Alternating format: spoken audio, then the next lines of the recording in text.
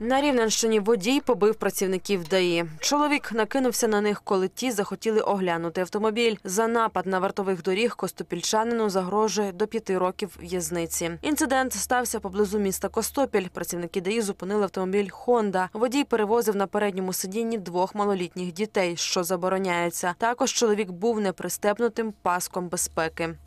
Після зупинки даного автомобіля водій пред'явив для перевірки посвідчення водія реєстраційний талон транспортний засіб. Даному водієві було запропоновано е, відкрити капот для перевірки е, для звірки номерів агрегатів з записами в реєстраційних документах.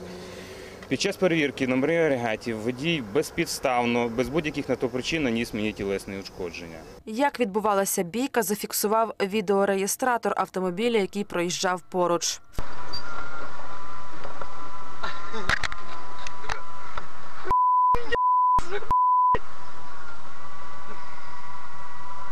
Втім, 26-річний водій Хонди все заперечує, мовляв, він нікого не бив, це був самозахист. Це вигадки їхні.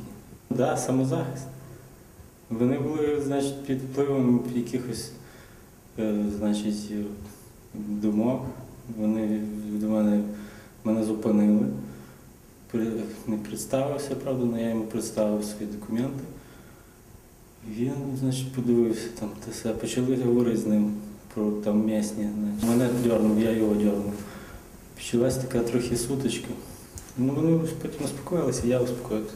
Під час допиту під як підозрюваного дана особа пояснила, що ніяких тілесних ушкоджень працівника міліції не заподіювала, і в той час підтвердив той факт, що працівники міліції також йому не заподіювали ніяких тілесних ушкоджень.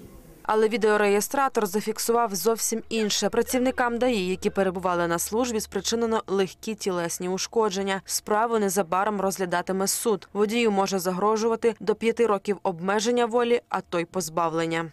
Їм було заподіяно легкі тілесні ушкодження, що відповідно до частини 2 статті 345 Кримінального кодексу України є кримінально караним діянням. Було затверджено обвинувальний акт у кримінальному провадженні стосовно мешканця міста Костополя за фактом нанесення тілесних ушкоджень працівника міліції під час виконання ними своїх службових обов'язків. І е, обвинувальний акт скеровано до суду.